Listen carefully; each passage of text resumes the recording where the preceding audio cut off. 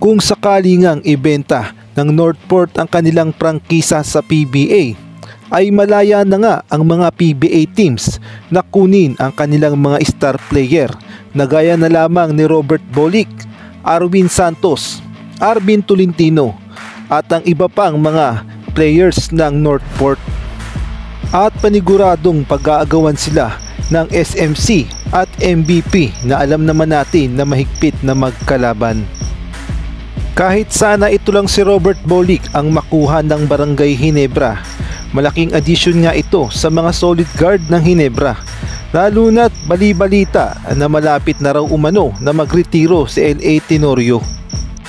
Kahit nga hindi binigyan ng playing time si Bon Pesumal kontra nga sa Bay Area, nagpapasalamat pa rin siya sa mga solid fans ng Barangay Hinebra na walang sawang sumusuporta.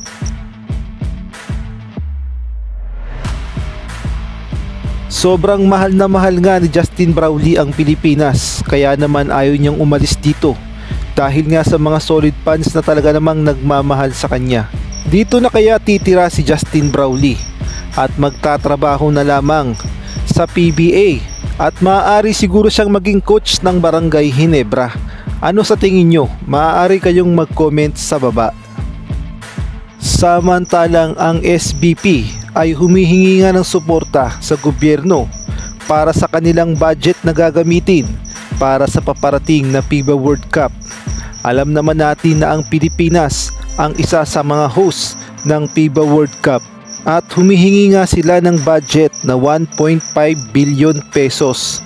Maaari kayong mag-comment sa baba kung tama lang ba ang budget na ito o sobra-sobra.